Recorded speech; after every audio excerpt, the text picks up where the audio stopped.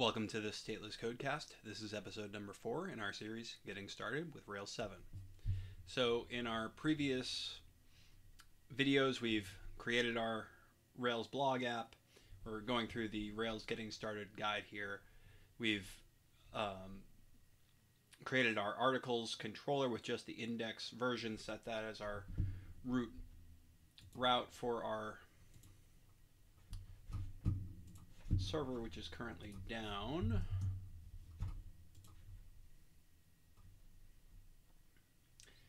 And then in our previous video, we went through and generated the articles model, and we spent most of that video going through the Rails migration. So you, um, with the model generated, you specify the attributes that you want, and then you can um, migrate that, which will create the table in the database and allow for you to now interact with the the Rails model, and that's what we're going to look at in this episode. So we're going to start by going into the Rails console.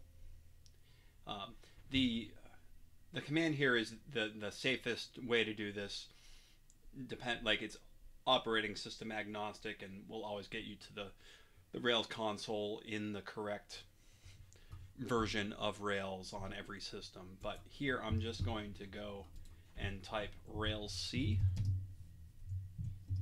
I could have copied and pasted that um, bin Rails console command there. You can see loading development environment specifies Rails 7.0.0.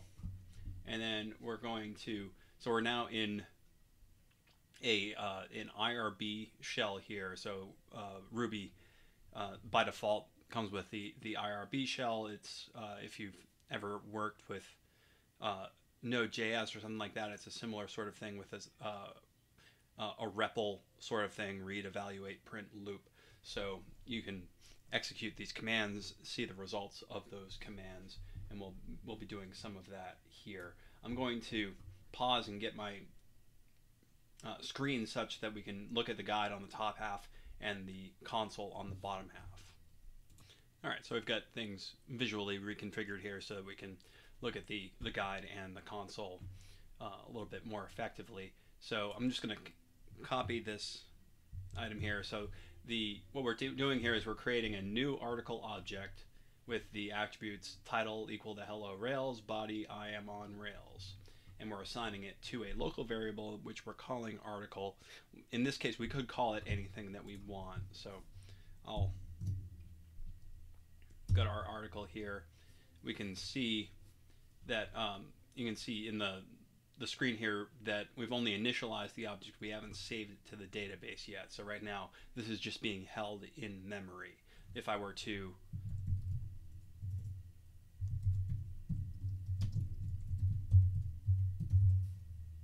articles equals article dot all, you can see I've got an, an empty set of articles here right now. And then if I wanted to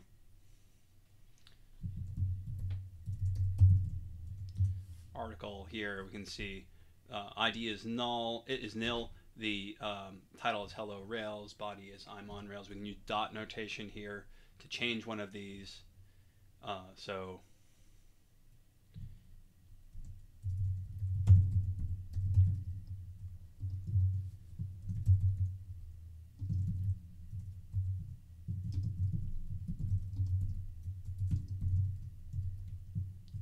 change the title to Hello Rails Taxation is Theft. We look at our article, and that is now the um, the the item here. So we can now, if I wanted to, the next thing we're going to do is save this article to the database. So we call article.save, and if this succeeds, it will return true. It will return a boolean. So um, if it's true, it'll be a true. If it's false, it'll be a false and we could um, examine the errors associated with them if it didn't save correctly. So we were successful. We now have an article in our database. Um, if we do article.all, now we can see that we've got that article in there. if we look at our article now, you can see that it now has an ID uh, associated with that primary key in the database and then it's also got created at and update updated at timestamps um, associated with them. If I wanted to change this article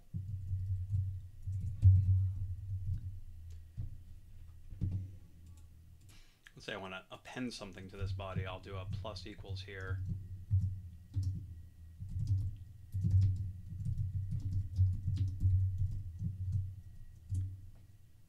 So we can see now our article has those uh, those changes there. I'm going to add an exclamation point to the title.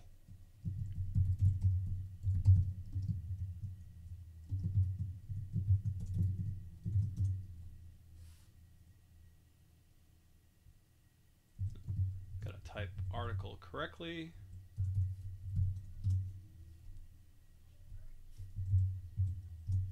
Can see now we've got that. And if we do save again, it'll get updated, and, the um, the updated at should change here.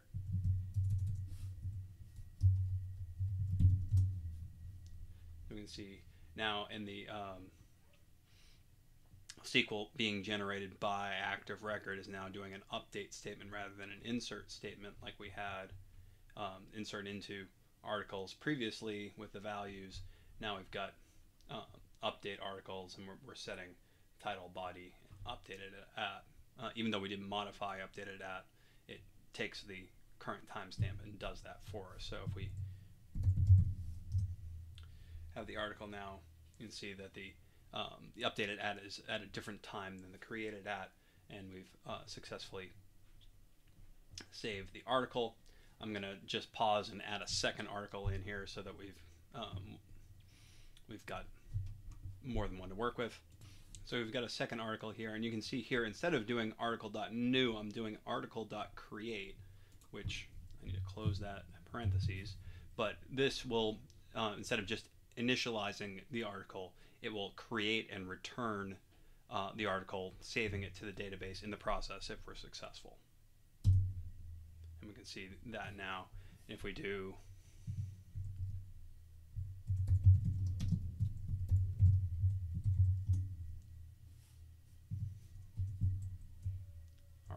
dot length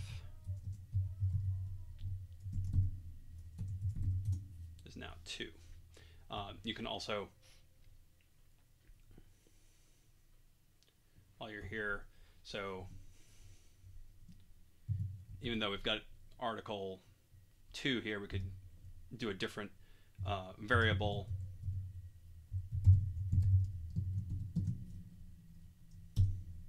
and assign that there. Uh, if you uh, that article dot find, so that'll take the ID of of the um, the active record object that you're trying to do. This gets um, inherited by all Rails models. If I were to do something, so we don't have an article number three right now. If I were to do this and type in three, it's going to raise an error. You can see couldn't find article with ID equals three. Um, active record not found error happens there. Uh, in, in some active record query items, it'll just return false or return return nil. But in the case of the find method, if it doesn't find um, an object, a, a, record in the database with that specific ID, then it's going to um, to, to raise an error like that. So, um, got article.all. We've um, and then the the Rails guide goes on to talk about how you can go to the Active Record Basics and Active Record Query Interface. We're going to do one more thing here, um, kind of anticipating. So we've done create, we've done read, uh, we've done update. Let's try doing destroy. So I'm going to create an article here that I don't want. All right, so I'm here creating an unfortunate article that I don't want to keep around.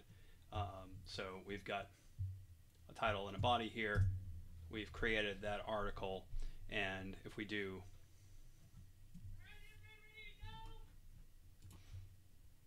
we do article dot all we can now say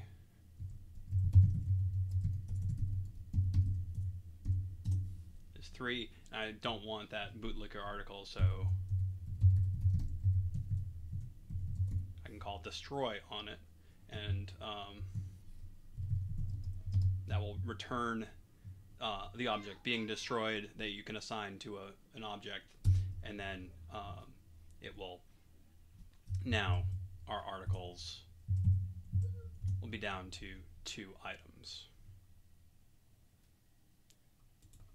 And as noted here, uh, articles, the, the, the return value here is an active record relation. So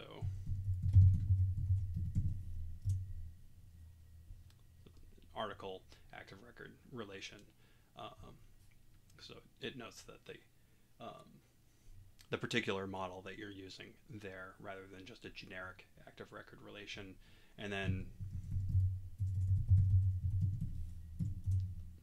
article class will um, will be the article model here. And when uh, the just the printing of that that class um, by default in Rails, it'll give you the attributes that are available in that model. Exit out now of the uh, the Rails console, and then I'm quickly gonna um, do another command that might be helpful, and that's uh, Rails DB console. So this will, depending on what your um, database system is. So if it's MariaDB, it's going to go to MariaDB. If it's Postgres, it's going to go to Postgres. Whatever else you configure as your your backend. Right now, it's launched into uh, SQLite 3. So if you wanted to now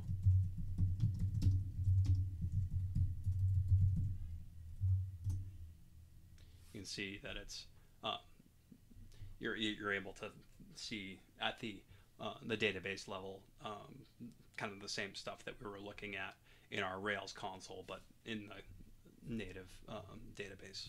I'm going to press Control D to get out of there, and we'll continue on with uh, showing a list of articles. So um, the thing we're going to now our index before was just an empty method that didn't really have anything um, interesting going on. It was just disp- displaying our our article index.html.erb, which was all static text, which is going to not that interesting. And you, if you're just doing static HTML, then there's really no point in um, all the overhead associated with a Rails application. But what you want is an interactive application, and that's what we're going to start working on now. So uh, we're going to add this instance variable articles um, being assigned as article.all. So you can see when the when we were working with the the Rails console, I was creating all local variables, but uh, it notes here that the instance variables, in addition to being accessible by the controller, are also accessed by the view. So that uh, allows you to, um, to to to kind of share that that instance variable between your your controller and, and your view in um, in your application. So we'll go in now and set that so our articles are, are now article.all will get assigned to the instance variable articles which will be available to us in our view. So before we change our view, we'll note that we'll go back to our test here. And note that our, our controller test is going to fail if we don't change it. So um, first thing we're going to to do here is we're going to, to change this, go back to our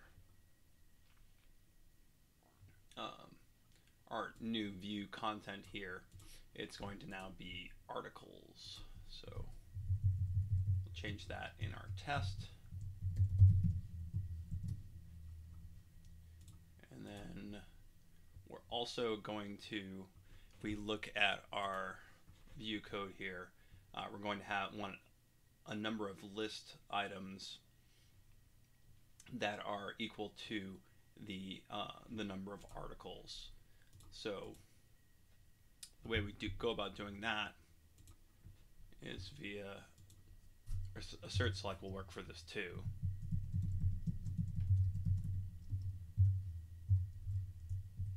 Instead of the actual content here, we're going to do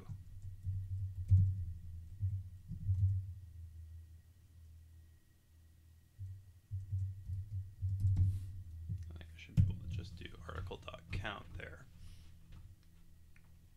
And while we're here, we'll also look at take a look at our fixtures. So uh, by default, Rails uses fixtures. There are other testing methods available to you here.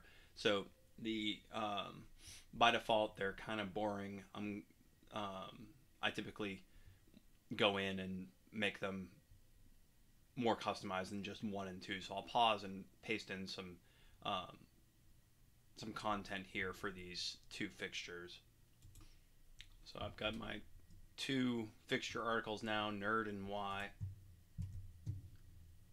Save that, and I should be able to go now, Rails C test. Oh, what have I done?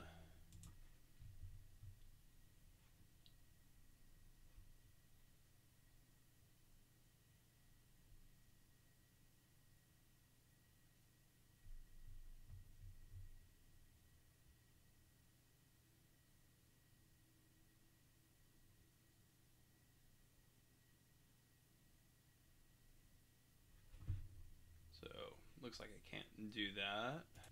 Let me try the Rails env.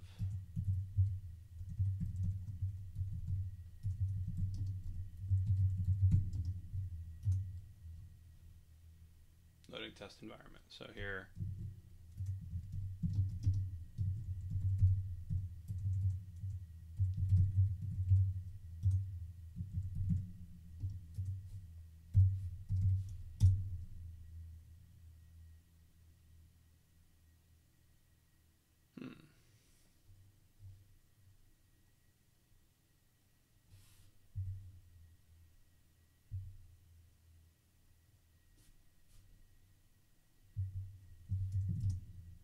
that didn't get updated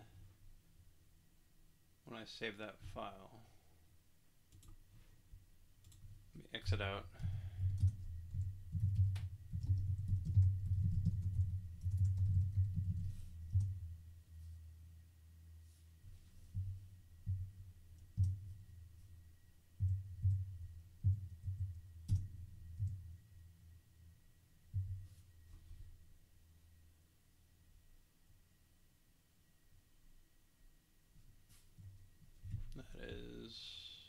Showing no articles now.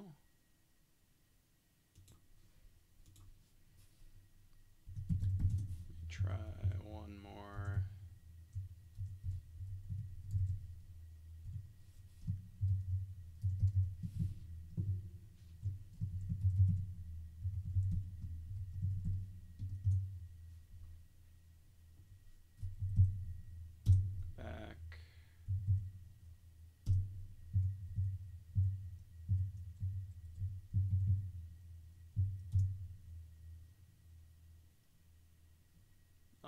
now I've got my fixtures loaded.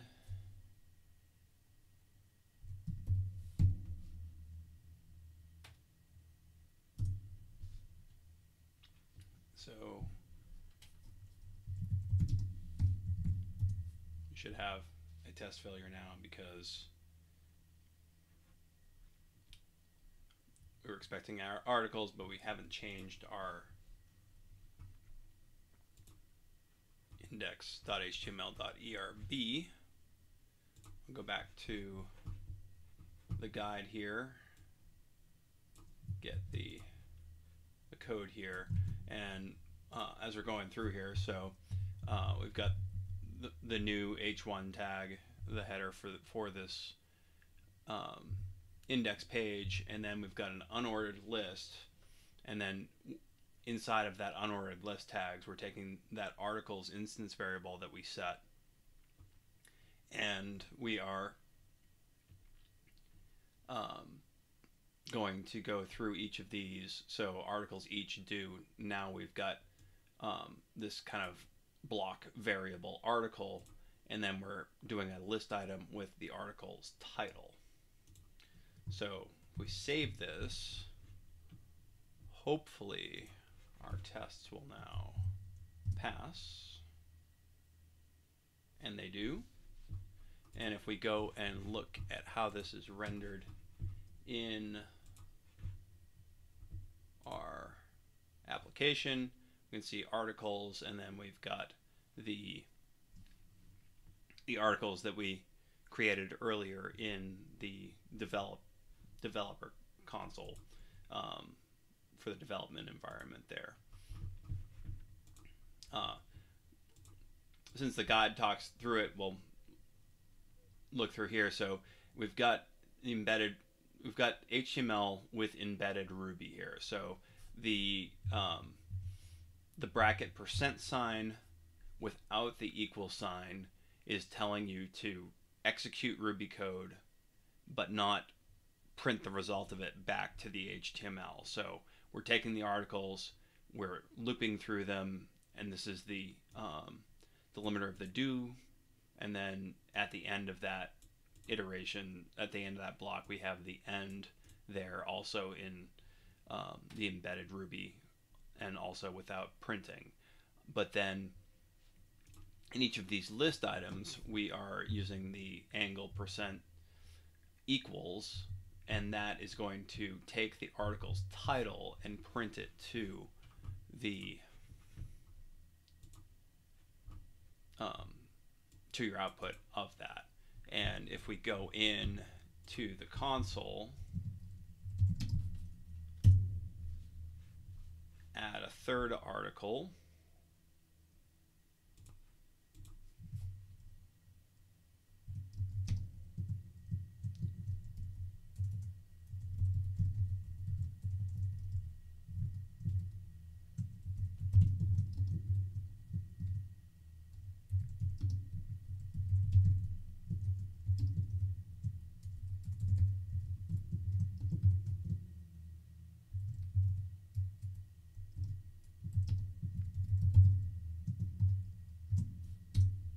interesting, but it's there.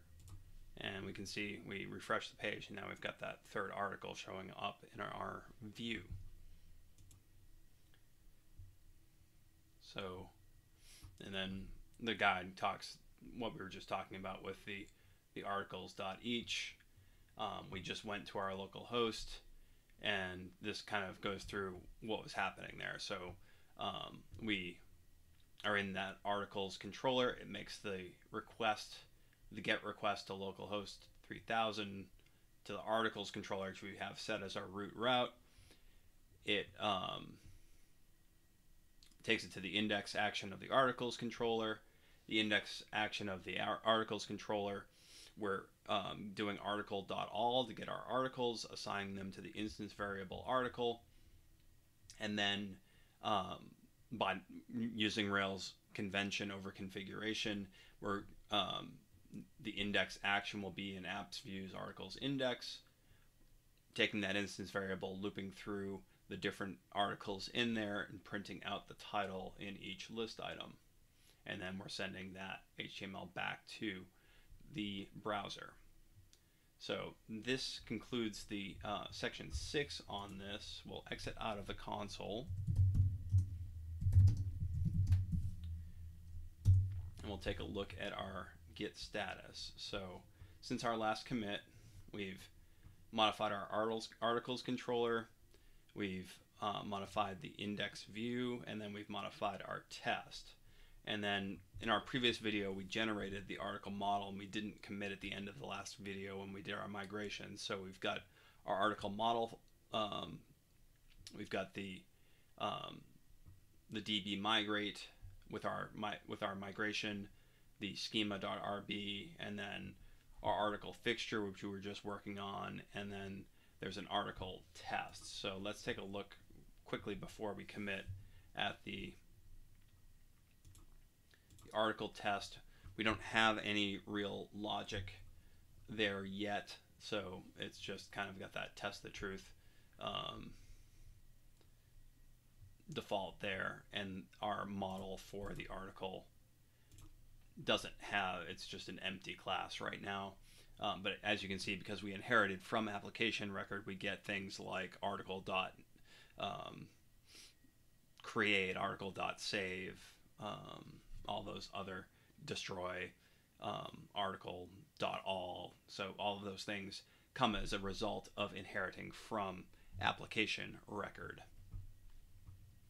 We'll, uh, as we actually add validations and stuff like that, going farther in this guide, we'll we'll flesh out that that model unit test and the um, the article model file here. But we'll commit everything that we've got at this point.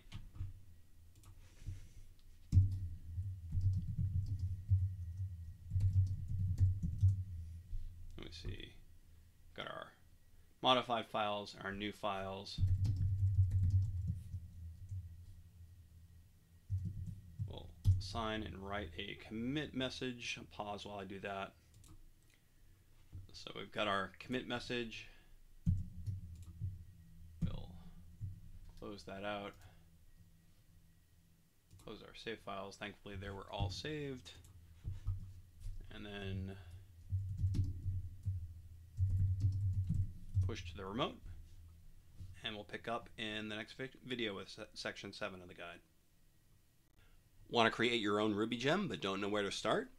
Code along with me on the end-to-end journey of the Nerd Dice project.